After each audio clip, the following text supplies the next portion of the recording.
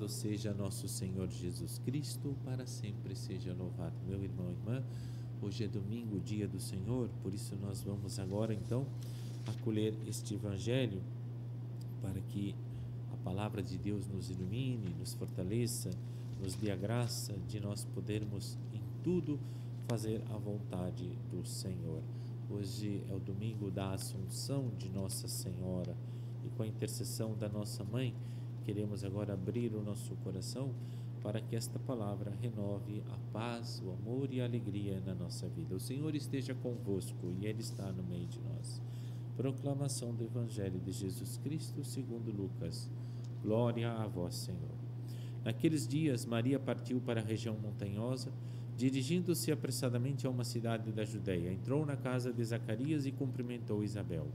Quando ouviu quando Isabel ouviu a saudação de Maria, a criança pulou no seu ventre e Isabel ficou cheia do Espírito Santo. Com um grande grito exclamou: Bendita és tu entre as mulheres, bendito é o fruto do teu ventre.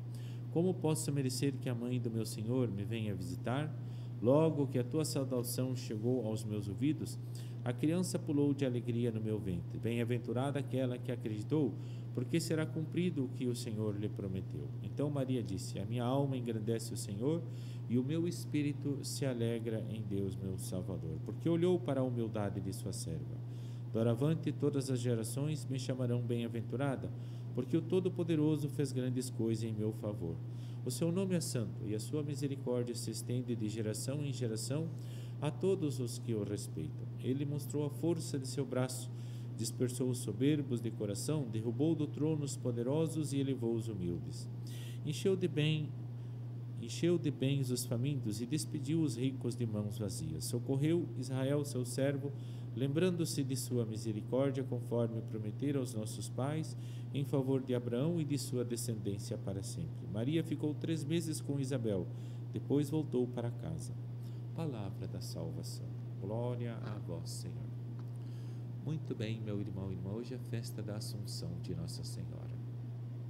A mãe que sobe para o céu, para junto do Filho, do Pai, para junto de Deus. E leva também no seu coração, em seu ventre, né, cada um de nós, porque somos seus filhos e filhas. É uma mãe que está para nos proteger, para nos iluminar, para interceder na vida de cada um de nós. Assim como ela foi visitar Isabel, né? para dar conforto, carinho, levar a presença de Jesus a Isabel que estava isolada, morando longe, escondida, com medo, angustiada, sozinha, idosa, né? Já não tinha mais praticamente nem forças para cuidar sozinha da, da, da, da gestação.